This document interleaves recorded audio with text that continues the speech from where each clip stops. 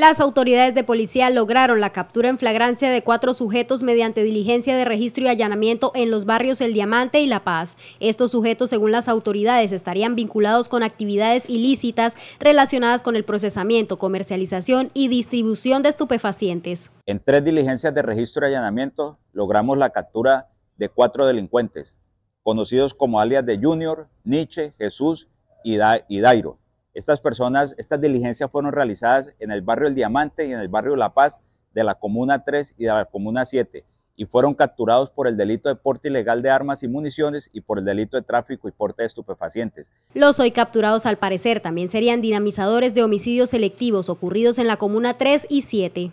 En este allanamiento fueron incautados varios elementos. De este resultado se logra la incautación de una pistola marca Ruger de un revólver calibre 38, 4.000 dosis de marihuana, 500 dosis de, de bazuco y 10 dosis de cocaína.